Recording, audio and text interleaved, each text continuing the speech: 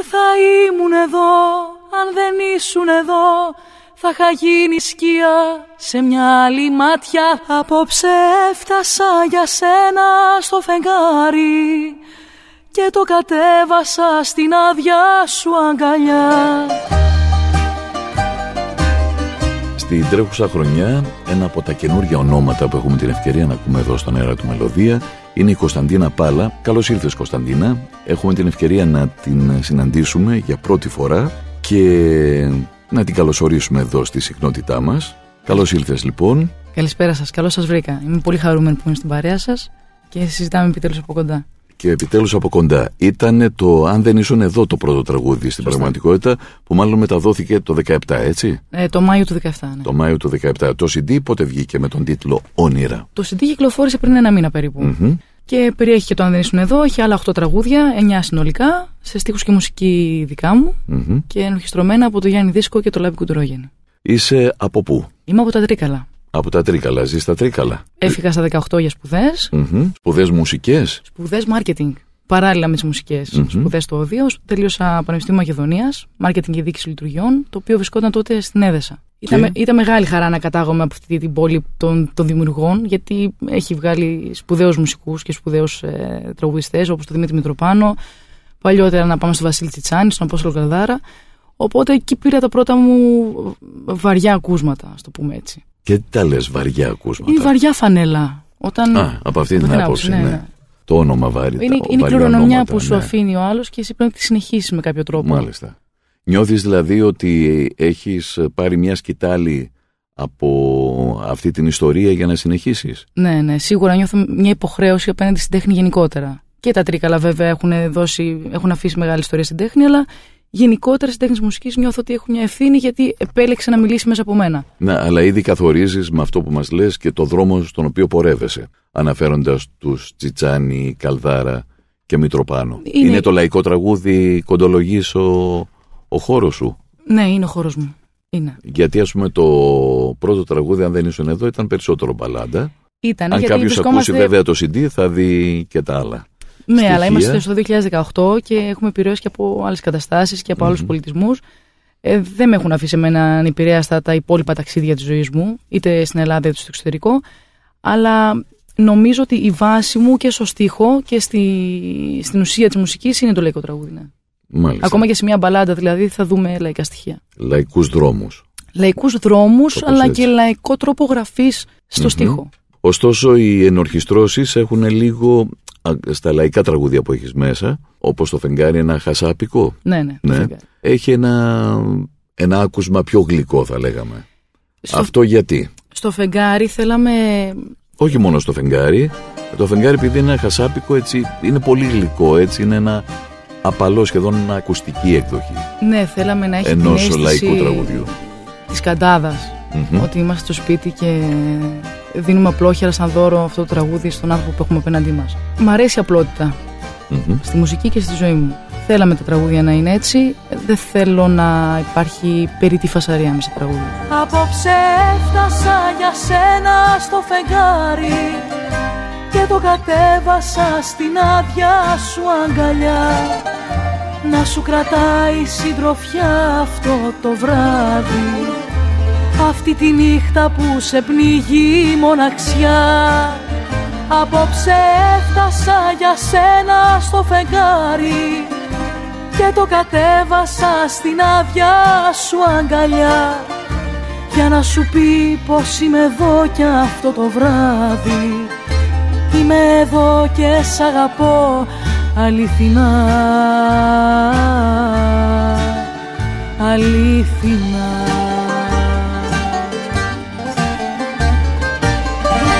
Πότε ένιωσες ότι έχεις αυτή την ορμή και αυτό το κάτι που σε οδηγεί να, να γράφεις τραγούδια και να τα ερμηνεύεις; Συνειδητά το ένιωσα στο, γύρω στα 13, στα 13 μου.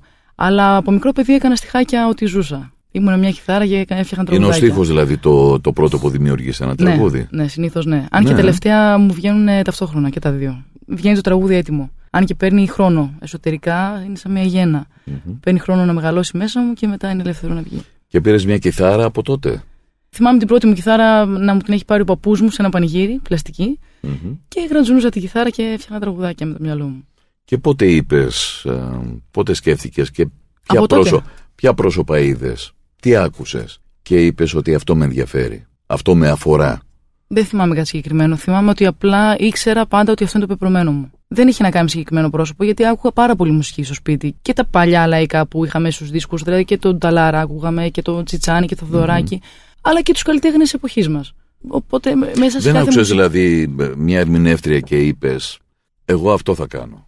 Αυτό συνέβη Δεν άκουσες ένα τραγούδι, ας πούμε, και είπες, Εγώ αυτό θέλω να κάνω. Αυτό συνέβη αρκετά χρόνια μετά, όταν uh-huh. σπούδαζα και είδα για πρώτη φορά ζωντανά την Τάνια Τσανακλείδου σε μια απλή εκδοχή της. Δηλαδή είχε τον Παναγιώτη Σεβά στο κορντεόν, τον Γέντο Ποζαχαρία και στην κιθάρα και τον Μανώλη Καρδίνη στο μπουζούκι. Είδες μία από τις καλύτερες. Είμαι σίγουρη. Ε, ένα από τα καλύτερα προγράμματα που έχει κάνει, μάλλον η Τάνια. Και εξαιρετικό και ο δίσκος που βγήκε. Ε, βέβαια, βέβαια.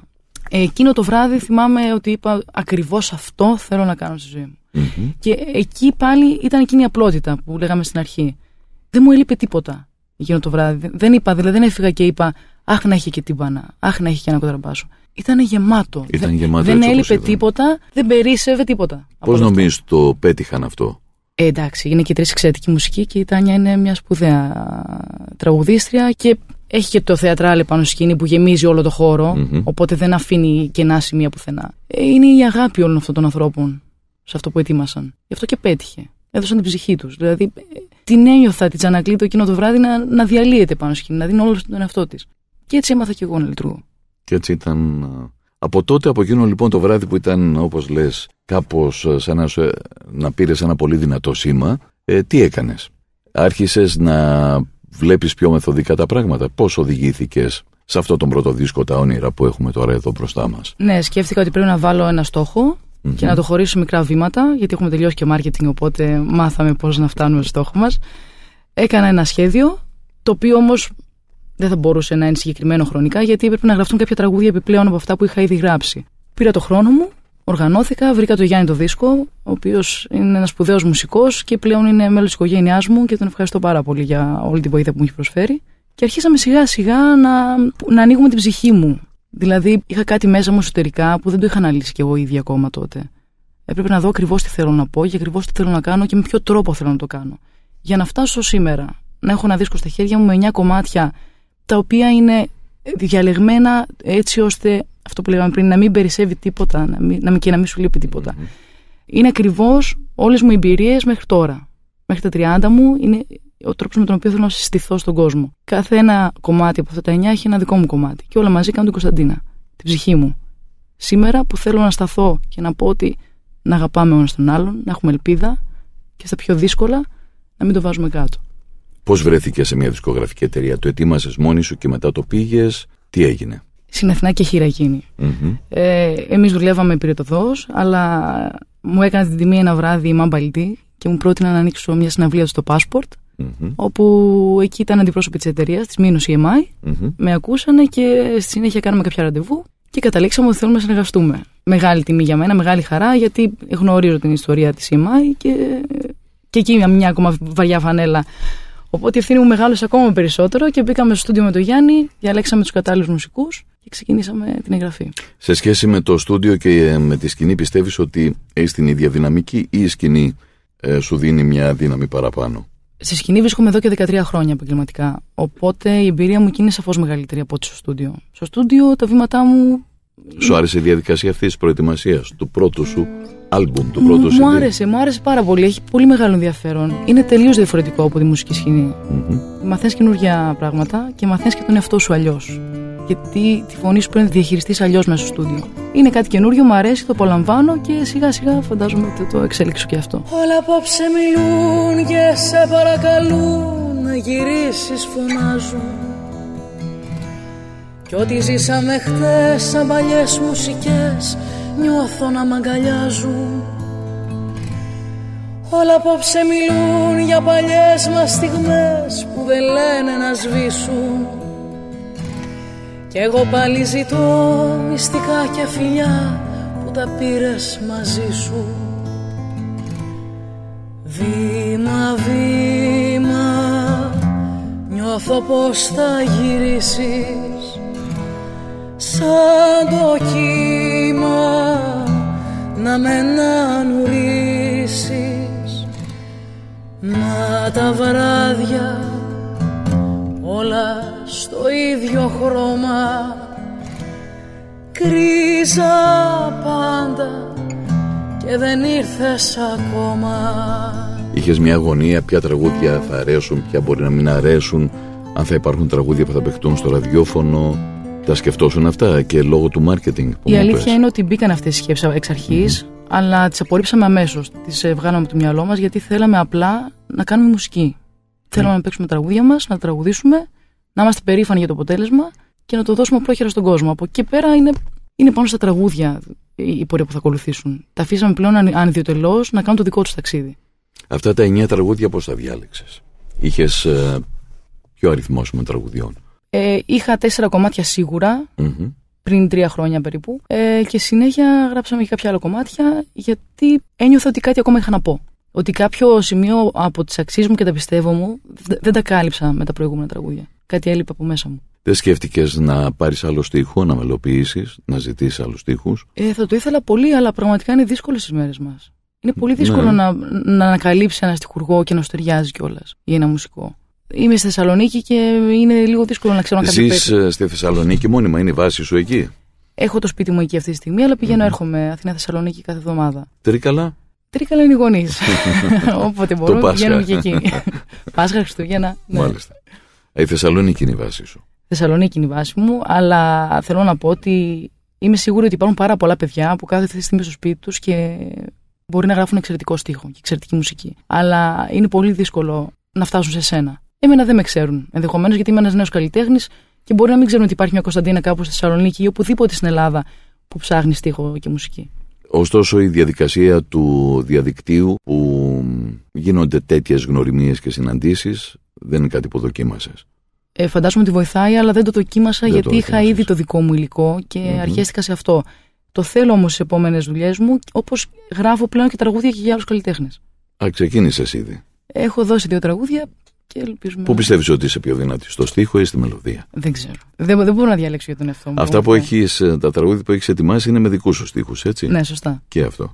Πώς πιστεύεις ότι ένας νέος δημιουργός τη σήμερα ημέρα που υπάρχει όλη αυτή η ευκολία με το διαδίκτυο θεωρητικά ε, μπορεί τελικά να επικοινωνήσει το τραγούδι του, την ψυχή του; Υπάρχει ευκολία με το διαδίκτυο, αλλά εδώ υπάρχει μια παγίδα γιατί η πληροφόρηση είναι πάρα πολύ μεγάλη. Mm-hmm. Ο όγκος των πληροφοριών που παίρνουμε και από το Facebook και από το YouTube και από τις διαφημίσεις είναι τεράστιος και δεν μπορούμε να, το, να, να κάτσουμε να ασχοληθούμε με το κάθε τι που βλέπουμε ε, ή ακούμε. Θέλει πάρα πολύ καλό marketing. Είναι πάρα πολύ δύσκολο ένας άνθρωπος μόνος του να καταφέρει να φτάσει την ψυχή του σε πολύ κόσμο. Μάλιστα. Θέλει βοήθεια. Δηλαδή, περιπτώσεις, υπάρχουν περιπτώσεις πολύ δημοφιλών καλλιτεχνών που φαίνεται ότι επειδή είναι και, έχουν και ένα χαρακτήρα που φαίνεται να μην είναι έτσι με μια εταιρεία που δουλεύει μια εταιρεία για αυτούς και να μην έχουν μια τέτοια υποστήριξη, εν πάση περιπτώσει. Πιστεύεις ότι υπάρχει μια πολύ καλή οργάνωση; Από πίσω διαφορετικά δεν γίνεται. Αν ένας άνθρωπος τυχαίνει να είναι τόσο σπουδαίος καλλιτέχνης από μόνος του, σίγουρα αυτό με τον καιρό θα φτάσει στο κοινό και θα τον ανακαλύψει το κοινό και ίσω ναι, να μην χρειάζεται μια εταιρεία. Αλλά ακόμα και εκείνη τη στιγμή, όσο σπουδαίο καλλιτέχνη και να είσαι, υπάρχουν δουλειές που πρέπει κάποιος άλλος να τις κάνει για σένα. Εγώ παρόλο που τελείωσα marketing, δεν μπορώ να κάνω marketing στον εαυτό μου. Mm-hmm. Η δουλειά μου είναι άλλη. Κατανοητό, ναι. ναι.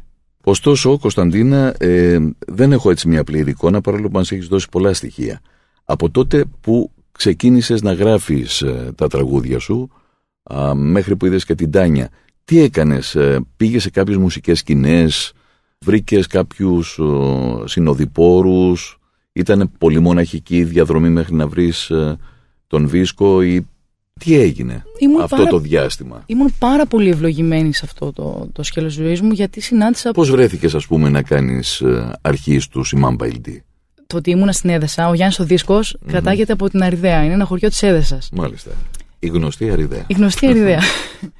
Όλη η περιοχή όμως εκεί έχει εξαιρετικούς μουσικούς. Πραγματικά εξαιρετικούς μουσικούς. Οπότε για μένα ήταν ευλογία που η σχολή μου, παρόλο που ήταν Πανεπιστήμιο Μακεδονίας, είχε παράρτημα στην Έδεσα και σπούδασα εκεί. Πήρα πάρα πολλά, τους χρωστάω πάρα πολλά. Οι περισσότεροι είναι ακόμα φίλοι μου. Και χάρη σε αυτούς τους μουσικούς που συνεργαζόμασταν τότε, όταν τους είπα σκέφτομαι να κάνω δίσκο, Ε, θα πάρεις το Γιάννη δίσκο τηλέφωνο, δεν, δεν γίνεται να το κάνεις χωρίς αυτόν. Και έτσι γνωστήκαμε με τον Γιάννη και δημιουργήθηκε μια φιλία η οποία. Σκέφτηκες να κάνεις δίσκο αυτό, αυτό είναι το σημείο που θέλω. Πότε το σκέφτηκες, πριν συναντ... Το ήξερα πάντα. Ήθελ... Το ήξερες πάντα. Πάντα, αυτό. πάντα. Ναι, ήταν Είπες αυτό είναι, ναι, ναι. τελείωσε. Θα κάνω δίσκο. Έκανα μουσική. Μάλιστα. Ξεκινάει από σένα μέσα σου. Θες να κάνεις μουσική για σένα, το έχεις ανάγκη. Ναι. Αλλά ήξερα ότι αυτό θέλω να το μοιραστώ με τους άλλους. Ξέρεις γιατί μου κάνει εντύπωση, έχω συναντήσει πολλά παιδιά που τελικά δεν το έχουν πετύχει αυτό. Φαίνεται έχεις μια αποφασιστικότητα και. Δούλευα Ήτανε... γι' αυτό. Δούλευες γι' αυτό. Ναι, ήξερα. Όταν ξεκίνησα να δουλεύω, ήξερα ότι σε 10 χρόνια το πολύ από τώρα έλεγα τότε. Θα γίνει. Θα, θα πρέπει να γίνει ένας δίσκος. Μάλιστα. Γιατί θέλω να τα μοιραστώ με τον κόσμο. Δεν, είναι, δεν ξεκινάει από τη ματιοδοξία να πας στην βεβαίωση του κόσμου που σίγουρα υπάρχει κάτι καλλιτέχνη. Θέλω απλόχερα να το μοιραστώ με τον κόσμο αυτό, αυτό που νιώθω και αυτό που σκέφτομαι. Τα ήσυχα βράδια στο μυαλού μου τη σκάλα Ανεβαίνεις και μοιάζεις γιορτή Το δωμάτιο κρύο είναι τόσο αστείο. Στη φλόγα σου νιώθω καιρή Με κοιτάς και σωπαίνεις Πες μου τι περιμένεις. Την αλήθεια από μένα πετείς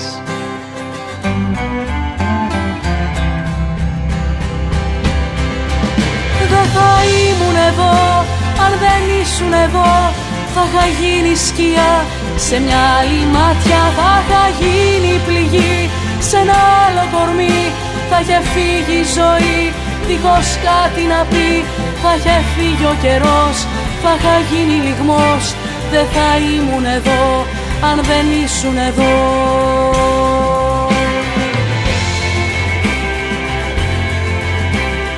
Γιατί πιστεύεις ότι περιμένει ο κόσμος από σένα; Από μια νέα τραγουδοποιό, γιατί τελικά δεν είσαι μια ερμηνεύτρια μόνο, είσαι μια τραγουδοποιός.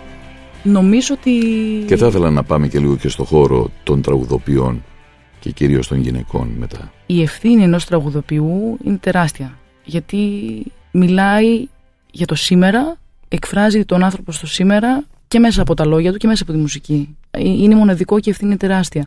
Ε, ο ρόλος μου λοιπόν εμένα σήμερα είναι να αφουγκραστώ τον κόσμο, τις φοβίες του, τα άγχη του τις χαρές του, να προσπαθήσω να, να τον κάνω να τα εξωτερικεύσει όλα αυτά. Γιατί πώς θα δείχνουμε όλα τα συναισθήματά μας μέσα από τη μουσική; Όταν είμαστε ναι. χαρούμενοι τραγουδάμε. Όταν είμαστε ενοχωρημένοι πάλι τραγουδάμε ή χορεύουμε ενδεχομένως. Η τέχνη είναι ο τρόπος, η μουσική είναι ο τρόπος να, να εξωτερικεύσουμε αυτά που νιώθουμε. Παρατηρείς τον κόσμο δηλαδή. Δεν είναι να θες να εκφράσεις αυτά που εσύ νιώθεις από τα ερεθίσματα που λαμβάνεις. Οφείλω να φιλτράρω τα ερεθίσματα που λαμβάνω από τον κόσμο και με τη δική μου οπτική γωνία να παρέμβω και να πω τη γνώμη μου. Αυτό είναι το επόμενο στάδιο. αλλά πρώτα οφείλω να καταλάβω τι θέλει ο κόσμος γύρω. Τι νιώθει, τι φοβάται, τι τον ανησυχεί. Επειδή στην αρχή της ε, κουβέντας μας αναφέρθηκες στα μεγάλα ονόματα που μάθαμε που είχαν καταγωγή τα τρίκαλα, σκέφτηκες καθόλου ότι συνεχίζεις και εύχομαι να το κάνεις για πολλά χρόνια και με επιτυχία και με μεγάλη έμπνευση, πραγματικά, και μια ιστορία των ε, τραγουδοποιών, των γυναικείων φωνών των ε, γυναικών στο τραγούδι μας που έγραψαν στίχο, μουσική και τραγούδισαν όπως η Αρλέτα για παράδειγμα, η Αφροδίτη Μάνου. Σκέφτηκες ότι είσαι και μια συνέχεια αυτών; Μακάρι να είμαι, δεν θέλω να το σκέφτομαι αυτό γιατί με αγχώνει περισσότερο. είναι, είναι μεγάλο το βάρος. Μακάρι να σταθώ άξια στα συνέχεια τους, ναι. Θα το ήθελα πάρα πολύ. Να περάσω τα χρόνια και να κοιτάξω πίσω και να πω ότι έκανα κάτι καλά. Ναι. Αλλά αυτό θα το κρίνει ο κόσμος και ο χρόνος. Αυτό σκέφτεσαι πάντως σαν συνέχεια. Δηλαδή, αν σου πούν ότι έχεις πολύ ωραία φωνή και έχουμε να σου δώσουμε τραγούδια, αλλά όχι ένα τραγούδι έτσι, δηλαδή να, κάνεις, να σε προσεγγίσουν να σου δώσουν τραγούδια. Αυτό θα το δεχόσουν; Ναι, θα το δεχόμουν. Αν τα τραγούδια με, με ξέφραζαν, ναι, φυσικά. Θα το έκανες και αυτό. Δεν θα σταματούσα βέβαια να γράφω. Να αλλά το να κάνω ένα δίσκο με άλλους συντελεστές θα το ήθελα πάρα πολύ, φυσικά. Αν μου επιτρέπεις, ε, θεωρώ ότι Εκτιμώ μάλλον ότι η επιρροή από την Έδεσα είναι μεγαλύτερη από ότι από τα τρίκαλα στα τραγούδια σου. ενώ ενορχιστρωτικά αυτά τα πνευστά, τα, τα Βαλκάνια πνευστά. Φταίει και ο Γιάννης. Ναι, προφανώς φταίει και ο Γιάννης. Ήμουν σε μια πιο όρημη ηλικία στην Έδεσα. Ίσως ναι. γι' αυτό χαράκτηκαν. Γιατί μάλλον μου κάνει εντύπωση, είναι που τα μαθαίνω όλα. Ακριβώς ο ήχος αυτός με τα πνευστά. Πραγματικά νιώθω την έδεσα σε μια δεύτερη πατρίδα μου. Γιατί δεν είναι ότι απλά πήγα και σπούδασα. Η αλήθεια είναι ότι δεν πολύ σπούδασα στην έδεσα, περισσότερο δούλευα. Ε, οπότε όλα αυτά τα βράδια και στις ταβέρνες και στα μπαράκια, ακόμα και στους γάμους που, που δούλευα τότε και στα πανηγύρια, είναι οι μεγαλύτερες αναμνήσεις μου, οι πιο ωραίες αναμνήσεις μου και ήταν, πολύ έντονο να δουλεύεις και να χορεύεις ταυτόχρονα με τον κόσμο. Στα τρίκαρα, ναι, τα άκουγα όλα αυτά στο σπίτι μου. Ωραία, πέρασαν μέσα στην ψυχή μου, αλλά συνέδεσα τη μουσική, τη, τη βίωσα ολοκληρωτικά. Γιατί την ώρα που δεν τραγουδούσα, κατέβαινα στον κόσμο κάτω και χόρευα μαζί τους. Στους παραδοσιακούς χώρου που έχουν εκεί στη Βορεια Ελλάδα. Οπότε τα έζησα πιο βαθιά, νομίζω, ναι. Βλέποντας την μουσική σκηνή σήμερα, όπως έχει διαμορφωθεί, με τους καθιερωμένους αλλά και με νέους καλλιτέχνες, αρκετοί από τους οποίους πια έχουν καθιερωθεί, σκέφτηκες ποτέ αν λείπει κάποιο κομμάτι που εσύ θα μπορούσες να συμπληρώσεις, το σκέφτηκες κάπως έτσι, ότι αυτό που κάνω εγώ δεν το κάνει κάποιος άλλος; Όχι, καθόλου. Αυτό είναι πραγματικά πολύ μαρκετιστικό, αλλά δεν το σκέφτηκα. Ε, τα τραγούδια, όταν, όταν τα γράφω, μου βγαίνουν πολύ αυθόρμητα. Είναι πραγματικά μια κατάσταση ψυχής κάθε τραγούδι που γραφω και δεν χωράει η σκέψη αν θα αρέσει και αχ, αυτό το κάτι παρόμοιο έχει κάνει και ένας άλλος τραγουδιστής ή ένας άλλος τραγουδοποιός. Όχι. Είναι η αλήθεια μου και έτσι την προσφέρω. Πόσο Γιατί μετά χαλάει, νομίζω ότι λερώνεται κάπως όλο αυτό.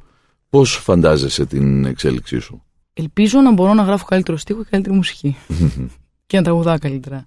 Ηχητικά; Και τα πνευστάκια το μπουζούκι δεν θα λείψει ποτέ από, από δίπλα μου. Και χαίρομαι που μπορώ και τα συνδυάζω. Και σε κάποιο λαϊκό τραγούδι, δηλαδή, έχουμε φτάσει σε ένα σημείο και με τον Γιάννη που, που μου κάνει την τιμή να παίζει μαζί μου. Ε, ακόμα και όταν θα παίξει ε, ένα βαρύ ζεμπέκικο ή οτιδήποτε, θα βρεθούν ατμόσφαιρες που μπορούν να τις προσεγγίσουν τα πνευστά. Στις ζωντανές σου εμφανίσεις, τι είναι το ρεπερτόριο, διότι φαντάζομαι ότι ακόμα και αν έχεις 20 τραγούδια δικά σου, χρειάζεσαι παραπάνω. Σίγουρα. Εκεί τι, τι θα ακούσουμε αν έρθουμε να σε δούμε; Θα ακούσετε σίγουρα τραγούδια του σημερα τα οποία εκτιμώ γιατί βλέπω ότι γίνεται πολλή δουλειά από νέους τραγουδιστές και νέους συνθέτες και νέους τραγουδοποιούς. Δηλαδή, έχουμε μαγιά.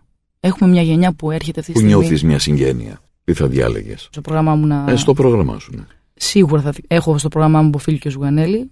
Δεν θα μπορούσα να λείπω το πρόγραμμά μου. Αλλά βλέπω τη Σαβέρια Μαριολά αυτή τη στιγμή, τη Βιολέτα Ήκαρη, που ανεβαίνουν και κάνουν πάρα πολύ σπουδαίες δουλειές. Με αξιοπρεπή τραγούδια είναι σημαντικό. Και με έναν άλλον ήχο, με ένα πιο φρέσκο αέρα. Κάνουν καινούργια τραγούδια. Είναι σημαντικό που κάνουν καινούργια τραγούδια. Από τα κλασικά τσιτσάνια, ας πούμε, τι διαλέγεις; Τον απόκληρο. Διαλέγω την αχάριστη πάντα γιατί θεωρώ ότι είναι από τα σπουδαιότερα τραγούδια που έχουν γραφτεί. Mm-hmm. Θα διαλέξω και το Ροσβίνη μόνη, θα διαλέξω και το Μου έχει κάνει εντύπωση μια και το λες αυτό και είναι μια ευκαιρία να το αναφέρω ότι μια βραδιά στη σκηνή του Σταυρού του Νότου και πριν ξεκινήσει νομίζω το τους επτά νάνους στο SS Κυρίνια, ο Θάνος Μικρούτσικος αυτή τη στιγμή που πάντα περιμένουμε, είπε ότι όλοι μας στο βάθος θέλουμε να φτιάξουμε αυτό το τραγούδι, την αχάριστη. Μου είχε κάνει τρομερή εντύπωση αυτό. Είναι εξαιρετικό. Ωστόσο δεν, δεν σκέφτηκε ας πούμε κάποια λιγότερα ακουσμένα τραγούδια του Τσιτσάνι ε, ή του Καλδάρα ας πούμε. Για μένα δεν, δεν υπάρχουν λιγότερα ακουσμένα. Νομίζω ακόμα και το Τρελέ Τσιγκάνε που πολλοί δεν το ναι. ξέρουν ότι είναι και του Τσιτσάνι ναι, όλοι τα, τα έχουμε σαν ακούσματα. Σιγά σιγά έχουμε μαθευτεί όλα Από την κυκλοφορία του CD και εντεύθεν τι έχεις πράξει; Εμφανίζεσαι στη Θεσσαλονίκη κάπου, τι κάνεις, ποια είναι η δραστηριότητά σου; Συναυλίες και στην Αθήνα και στη θεσσαλονικη αλλά και στην επαρχία. Πρόσφατα πήγαμε και από το Λιμαΐδα και Αριδαία και Έδεσα και Τρίκαλα. Θα πάμε και σε άλλες πόλεις. Ε, έχω μια σεζόν στη Θεσσαλονίκη η οποία είναι αρκετά μεγάλη, δηλαδή ξεκινάμε από τέλη Σεπτεμβρίου και τελειώνουμε αρχές Μαΐου, σταθερά εκεί. Και σε μουσικές σκηνές εδώ στην Αθήνα. Έχουμε κάνει και παρουσίαση, άτυπη παρουσίαση δίσκου. Παίζεις μόνη σου ή. Ε, όχι, μόνη μου δεν παίζω. Ή θα έχω... Όχι εννοώ μόνη σου με μια. Δεν εννοώ την μπάντα, εννοώ με άλλους ερμηνευτές. Κάναμε μια σπουδαία συνεργασία με τον Μάκη του Σεβίλογλου πρόσφατα mm-hmm. και είμαι πολύ περήφανη και χαρούμενη που βρέθηκα σκηνή μαζί του. Ο Μάκης είναι από. Ο Μάκης από τα Γρεβενά κάπου πάνω, ναι, ναι, ναι. Από ένα χωριό και μένει στην Κοζάνη. Από τα Γρεβενά, σωστά. Και μένει στην Κοζάνη τα ναι. τελευταία χρόνια. Δηλαδή, μετά την κυκλοφορία του δίσκου, μια εβδομάδα μετά δηλαδή, μιλήσαμε με τον Μάκη και mm-hmm. κλείσαμε τη συνεργασία. Εκτός από τον Μάκη, όχι, δεν, έχω συνεργαστεί τελευταία με κάποιους άλλους. Εμφανίζομαι μόνη μου. Μόνη σου. Δεν θεωρείς ε, απαραίτητο να μπει σε μια παρέα ας πούμε μουσικών όχι μόνο χάρη της ε, δημοσιότητας ή το να γίνεις αναγνωρίσιμη κτλ. Δεν βλέπεις ότι υπάρχει μια κοινότητα από παρέες κάθε τόσο που φτιάχνουν όπως το περίφημο πια τραγούδι του Σαββόπουλου; Οι παρέες που γράφουν και οι κοινότητες των Ελλήνων. Κάπως έτσι δεν νιώθεις απαραίτητο να ανήκεις σε μια παρέα; Να ανήκω σε μια παρέα κλειστή όχι. Ε, θέλω να ναι, συνεργάζομαι με κάθε ναι. συνάδελφο ο οποίος έχει την ίδια αγάπη και χαρά με μένα να κάνει μουσική. Όλοι πρέπει να συνεργαζόμαστε μεταξύ μας. Δεν μπορεύεται κανείς μόνος στην τέχνη. Δεν γίνεται αυτό το πράγμα. Είμαστε μια μεγάλη οικογένεια. Πρέπει να συνεπάρχουμε και να δουλεύουμε μαζί. Σε ενδιαφέρουν οι μουσικές σκηνές ή πιθανότατα και η πιθανότητα μιας ε, σκηνής ενός λαϊκού κέντρου θα σου ήταν το ίδιο; Δεν θα μπορούσα νομίζω να σταθώ σε ένα λαϊκό κέντρο τόσο άνετα. Με την κιθάρα μου δηλαδή στην αγκαλιά μου και να τραγουδάω. Έχεις πάντα την κιθάρα μαζί. Πάντα, ναι. Είμαι μισή αλλιώς, δεν γίνεται. Αφού μαζί γεννηθήκαμε. Πάλι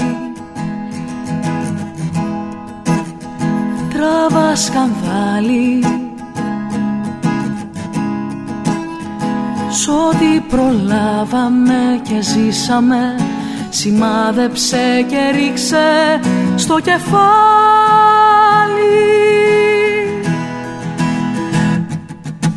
Πάλι Τις Κυριακές που αλυτεύαμε Και τις βιτρίνες που χαζεύαμε. Σημάδεψε και πατά τη σκανδάλι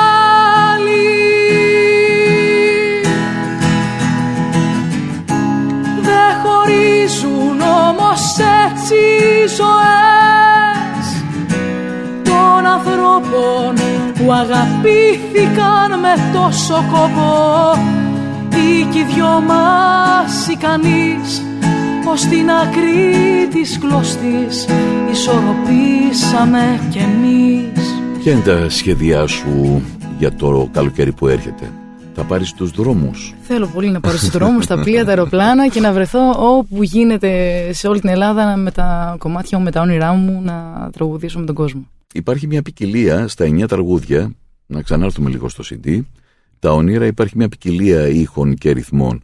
Πιστεύεις ότι αυτό σε βοηθά, θα πει κάποιος, α, κοίταξε, τι ωραία τα καταφέρνει ας πούμε σε διάφορα πεδία ή θα ήταν καλύτερα να υπάρχει ένα πιο σαφές στίγμα ότι κάνεις μπαλάντες ή κάνεις λαϊκά τραγούδια; Έχουμε συνηθίσει τα τελευταία χρόνια να βάζουμε ταμπέλες σε όλα τα θέματα, αλλά εμένα δεν μου αρέσει αυτό. Δεν μου άρεσε ποτέ, δεν θέλω να βάλω ώρες στη μουσική μου. Πραγματικά το χαίρομαι που συναντώ ανθρώπους και μου λένε: Εμένα μου άρεσε εκείνο το λαϊκό τραγούδι του δίσκου σου, και κάποιος άλλος μου λέει: Μου άρεσε το βαλκανικό ή μου άρεσε η μπαλάντα σου. Έτσι, ε, νομίζω ότι τελικά αγγίζεις περισσότερο, περισσότερους ανθρώπους με αυτόν τον τρόπο. Ε, σίγουρα υπάρχει γνώμη ότι πρέπει να υπάρχει μια ταμπέλα. Υπάρχει και αυτή η άποψη. Αλλά δεν συμφωνώ. Ε, δεν μπορώ να συμφωνήσω ψυχικά, δηλαδή δεν, δεν μου βγαίνει να γράψω μόνο λαϊκά τραγούδια. Και ίσως τελικά η ταμπέλα είναι αυτό που μόλις είπες, η ψυχή σου και ο τρόπος που τα ερμηνεύεις και τα προσεγγίζεις όλα αυτά. Είμαι εγώ απλά. Αν βάλω μια ταμπέλα, ε, αυτή, είναι, αυτή είναι η Κωνσταντίνα. Το σύντη που κρατάτε σε χέρια σας είμαι εγώ. Πού πήγες τελευταία και πέρασες πολύ καλά; Πάντα θέλω να βρισκόμαι δίπλα στο μάλαμα. Είναι ο τρόπος που παίζει κιθάρα, μάλλον. Ε, τον αγαπώ το Σοκράτη.